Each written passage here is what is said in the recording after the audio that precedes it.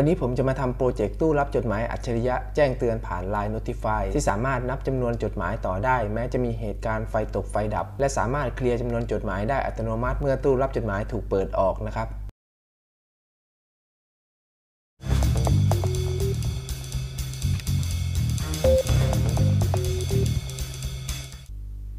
สวัสดีครับ พบกับผมในช่องจัก DIY นะครับ วันนี้ผมจะมาถอดตู้รับจดหมายเก่าออกมา เปลี่ยนให้เป็นตู้รับจดหมายอัจฉริยะแจ้งเตือนผ่าน Line Notify มาเริ่มจากอุปกรณ์ที่ต้องใช้งานกันก่อน ในโปรเจกต์นี้จะใช้อุปกรณ์ดังนี้นะครับ 1. ตู้รับจดหมาย 2. Node MCU V3 3. โมดูลเซนเซอร์อินฟราเรดตรวจับวัตถุ 4. อะแดปเตอร์5โวลต์ 5. แผ่นปริ้นอเนกประสงค์หรือปริ้นไข่ปลานะครับ 6. Limit Switch ซึ่งผมจะใช้หน้า Contact NC หรือ Normally Close หรือแบบปกติปิดนะครับ 7. ตัวต้านทาน 1K โอห์มจำนวน 2 ตัว แล้วก็สายไฟนะครับ การต่อวงจรก็ทำได้ง่าย ๆ ตามนี้นะครับ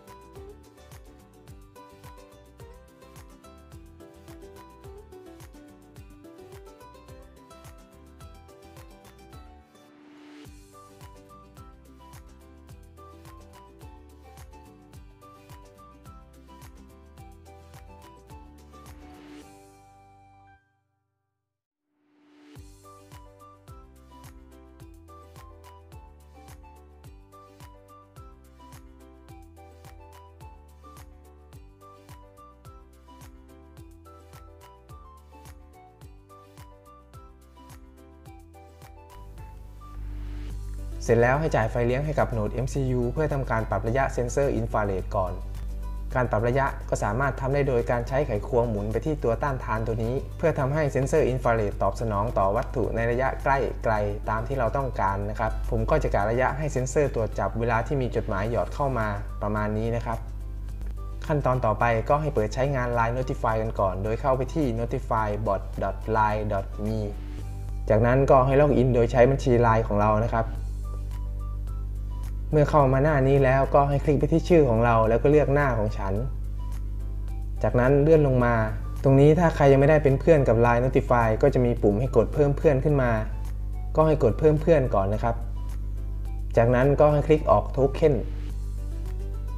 ที่หน้าต่างนี้เราจะสามารถเลือกได้ว่าจะให้ Line Notify ส่งการแจ้งเตือนไปที่เราคนเดียว หรือส่งการแจ้งเตือนเข้า Line กลุ่มก็สามารถทำได้นะครับ ตรงนี้ผมเลือกรับการแจ้งเตือนแบบตัวต่อตัว คือให้ Line Notify ส่งข้อความมาหาเราคนเดียวนะครับ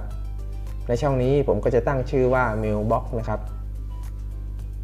จากนั้นก็คลิกออกโทเค็นจะมีลายโทเค็นขึ้นมา ก็ให้ทำการคัดลอกไว้เพื่อนำไปวางในโค้ด Arduino นะครับ ในส่วนของโค้ด Arduino ผมจะแชร์ไว้ให้ที่ใต้คลิปเหมือนเดิมนะครับ เมื่อโหลดไปแล้วก็ใช้โปรแกรม Arduino เปิดขึ้นมา แล้วแก้ไขข้อมูลบางส่วนให้เป็นข้อมูลของเราเองตามนี้นะครับ ส่วนแรกคือ Wi-Fi SSID และ Wi-Fi Password ก็ให้ใส่ชื่อ Wi-Fi และ Password ที่ต้องการให้โหนด MCU เชื่อมต่อ เพื่อที่จะส่งข้อความแจ้งเตือนมาหาเราผ่าน Line Notify นะครับส่วนที่ 2 คือ Line Token ก็ให้ใส่โทเค็นที่ Copy มาจากหน้า Line Notify ที่ผมพาทำเมื่อสักครู่นี้นะครับ เสร็จเรียบร้อยแล้วก็กดปุ่ม Verify เพื่อดูว่ามี Error หรือเปล่านะครับ เมื่อ Verify แล้วว่าไม่มี Error ก็ให้เสียบสาย USB เชื่อมต่อกับโหนด MCU เข้ากับคอมพิวเตอร์แล้วก็กด Upload นะครับ จากนั้นให้นำบอร์ดของเราไปประกอบเข้ากับตู้รับจดหมายแบบนี้นะครับ ในการประกอบก็ให้ประกอบโดยหันทิศทางของหลอดอินฟราเรดไปทางช่องรับจดหมายแบบนี้นะครับ ในส่วนของลิมิตสวิตก็ให้ติดตรงช่องเปิดรับจดหมาย ในตำแหน่งที่เวลาเราปิดตู้รับจดหมาย แล้วฝาจะไปกดก้านของลิมิตสวิตได้นะครับ เสร็จเรียบร้อยแล้วก็ทดสอบการทำงานดูนะครับ เมื่อโหนด MCU เชื่อมต่อกับ Wi-Fi แล้ว จะมีข้อความส่งมาที่ Line Notify ว่า Smart Mailbox เชื่อมต่อกับ Wi-Fi แล้วแบบนี้นะครับ จากนั้นผมลองเสียบจดหมายเข้าไปในตู้รับจดหมาย ก็จะมีข้อความแจ้งเตือนผ่านไลน์ Notify มาหาเราว่ามีจดหมายเข้า 1 ฉบับแบบนี้นะครับ เมื่อเสียบจดหมายเข้าไปอีกจำนวนจดหมายในข้อความที่ส่งมาก็จะเพิ่มขึ้นเรื่อยๆนะครับ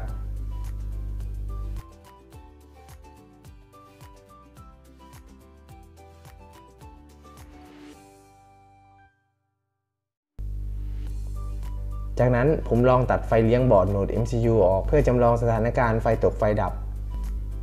แล้วจ่ายไฟเลี้ยงกลับเข้าไปอีกครั้ง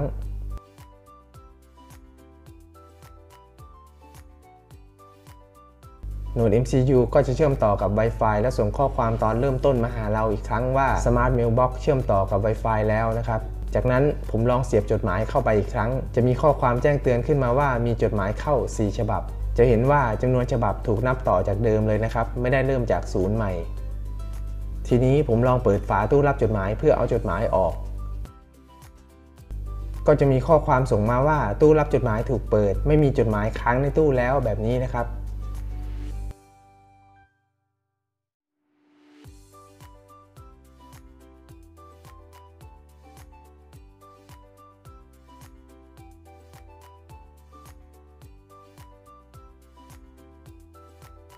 ผมลองเสียบจดหมายเข้าไปอีกในขณะที่ฝาตู้รับจดหมายเปิดไว้ จะไม่มีข้อความส่งมาแจ้งเตือนนะครับ เพราะผมเขียนโปรแกรมไว้ว่า ถ้ามีการเปิดฝาตู้รับจดหมาย ให้ถือว่าเป็นการเอาจดหมายออกจากตู้จำนวนจดหมายจะเป็นศูนย์ฉบับ และไม่มีการแจ้งเตือนนะครับ ผมปิดฝาตู้รับจดหมายไว้เหมือนเดิมนะครับ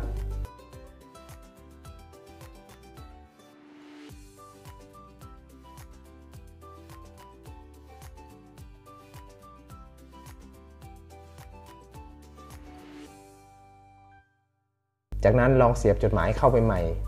จำนวนจดหมายที่ส่งมารอบนี้จะกลับมาเริ่มนับที่ 1 ฉบับใหม่นะครับ ก็หวังว่าคลิปนี้จะเป็นประโยชน์และเป็นไอเดียให้กับผู้ที่สนใจนำไปประยุกต์ใช้งานและต่อยอดกับโปรเจกต์อื่น ๆ ได้นะครับ ฝากกดไลค์ กดแชร์ กดติดตามเพื่อเป็นกำลังใจด้วยนะครับสำหรับคลิปนี้ผมก็ขอจบไปเพียงเท่านี้ สวัสดีครับ